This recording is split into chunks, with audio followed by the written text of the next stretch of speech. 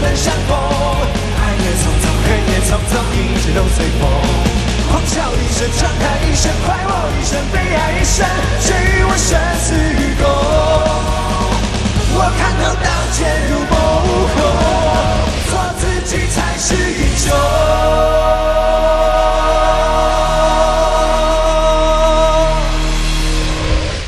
港知名女星、最美周芷若周海媚，十二日起工作室证实因病辞世。五年前，周海媚曾来台担任三立主办金钟奖颁奖嘉宾，在八三幺主唱阿蒲唱到压轴《倚天屠龙记》歌曲时，身穿气质典雅的古装扮相登场同框，冻龄的模样让台湾粉丝一片惊呼。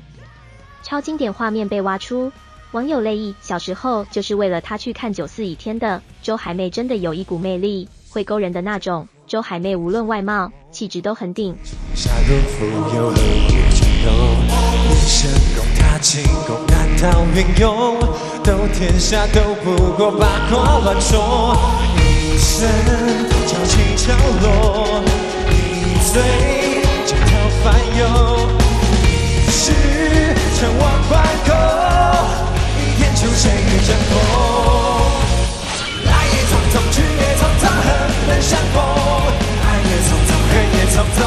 都随风。狂笑一声，长叹一声，快活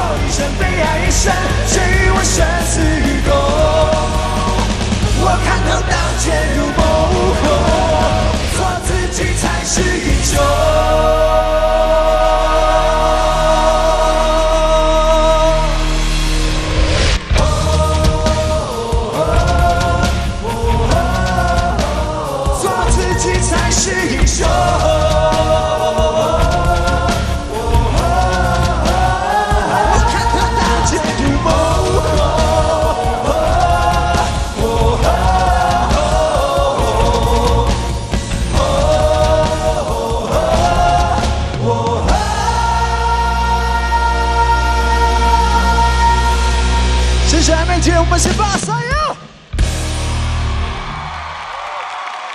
匆匆去也匆匆，恨本相逢。爱也匆匆，恨也匆匆，一直都随风。狂笑一声，长叹一声，快活一生，悲哀一生，谁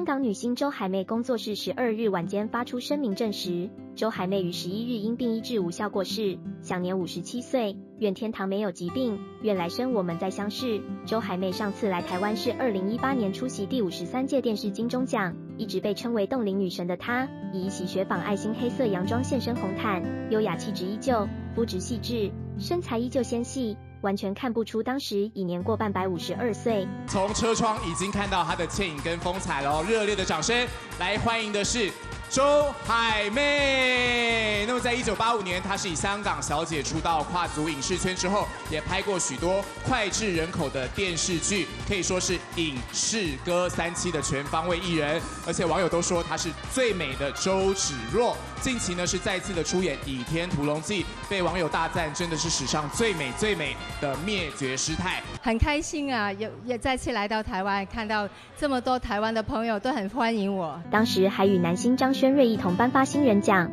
真实冻龄模样现形。轩瑞啊，你知道吗？有很多女孩子不喜欢老是被叫姐姐，知道吗？把我叫恼了，知道吗？呃，可是海妹姐，您知道现在流行姐弟恋吗？哦，姐姐的魅力呀现在很夯哦。有一个游戏叫做数肩膀，有听过吗？哦，数肩膀我真的不知道哎，怎么玩啊？我示范一次。嗯，一、二、三、四。哎呦，吓我一跳哎！你太可爱了。从呃踏进台湾开始，我就已经很开心很开心，而且充满了怀念，然后有很多很多美食。可是这一次呢，我也很开心，金钟奖邀请我来当颁奖嘉宾，还有给我一个大帅哥站在旁边。典礼最后还在乐团八三幺主唱阿普唱到压轴《倚天屠龙记》歌曲时，身穿气质典雅的古装扮相登场同框，而他也与当年模样几乎没改变。爱也匆匆，去也匆匆，恨不能相逢。爱也匆匆，恨也匆匆，一切都随风。狂笑一声，长叹一声，吼一声，悲哀一声，谁与我生死与共？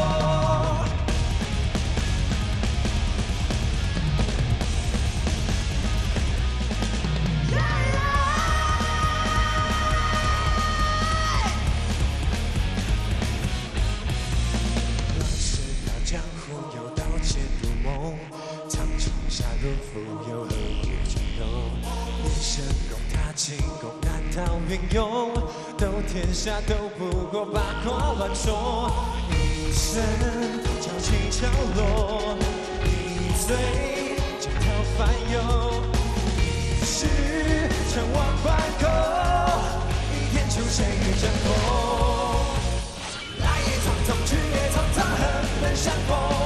爱也匆匆，恨也匆匆，一切都随风。狂笑一声，长叹一声，快活一生，悲哀一生，谁与我生死与共？我看透刀剑如梦后，做自己才是英雄。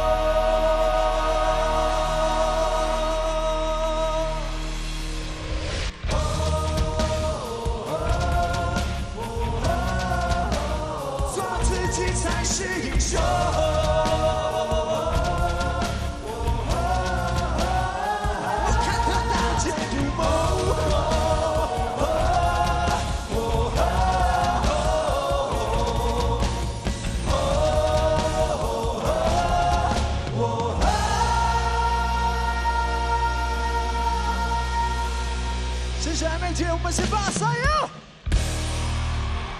对于访台之行，他相当怀念卤味与小笼包，一定要自己排队才好吃。而周海媚彩排时就自曝，冻龄并不是靠保养或饮食等方法，而是靠睡来的。周海媚也提到，想要不老就必须得跟上时代，没有永远青春美丽的。我也会老，多了几个皱纹。我今年五十二了，我觉得心态很重要，最重要是你怎么去活，有没有追上这个时代，跟时代一起进步。这几年周海媚重心转往大陆发展，曾为一线女星的她，二十岁出演《倚天屠龙记》中周芷若一角爆红，成为她演艺生涯的代表作，并拥有最美周芷若称号。之后移居大陆发展，二十五年后大陆再度翻拍《倚天》，升格为灭绝师太，被封为不老女神。